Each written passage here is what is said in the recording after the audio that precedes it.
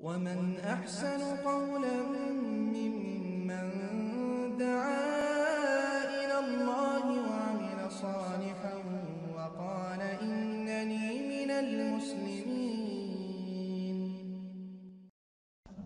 ওয়ালাইকুম আসসালাম রহমতুল্লাহ বারাকাত ঘর থাকবেন ঘর থেকে বাইরে হইবেন না ভাই শাকির আহমদ আহ,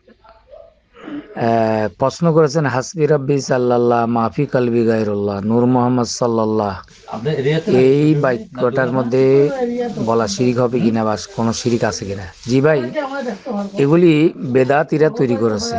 এরকম কোনো কথা হাদিসে এরকম ধরনের কোনো কবিতা নেই।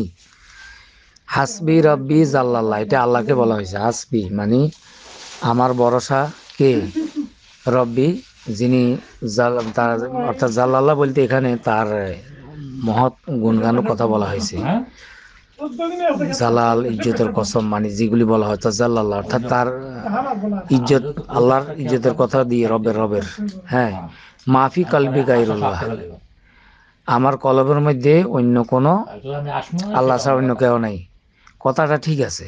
এখানে এই পর্যন্ত কথাগুলি ঠিক আছে যদি এগুলি মানুষ বানায় বলে কথা এটি ঠিক আছে। কিন্তু তারপর এটার সাথে যে মিলেছে নূর মোহাম্মদ সাল্লাল্লাহ। রসুল সাল্লাহ সাল্লাম কি নূর? নূর তো হইল ফেরেস্তারা নূর হইল যে আল্লাহ আল্লাহ জাতি নূর। রসুল সাল্লাহ সাল্লামের যে হেদায়েতের আলোকিত নূর সেটা কি তার কথাগুলি ওহির দ্বারা মানুষকে হেদায়েত থেকে অর্থাৎ অন্ধকার থেকে আলোর দিকে আনে?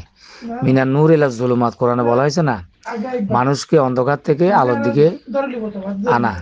এইগুলি হলো যে রসুলের হেদায়তি নূর। কিন্তু রসুল আল্লাহর মতো নূর নয়। তো এই কথাগুলি বলা গলত। এটি শিরিক হবে।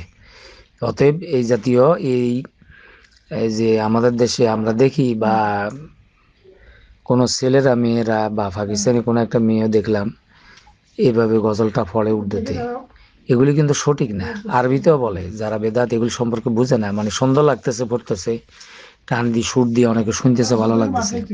কিন্তু রসুল সাল্লাহ সাল্লামকে যে নূর মোহাম্মদ সাল্লাহ বলছি, এটি সঠিক না। নূর নয় রসুল সাল্লাহ সাল্লাম।